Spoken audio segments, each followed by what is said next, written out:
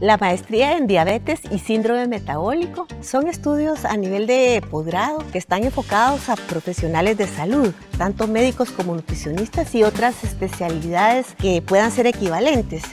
Está dirigida para preparar a estos profesionales en la correcta atención nutricional, médica y en el manejo integral de la enfermedad.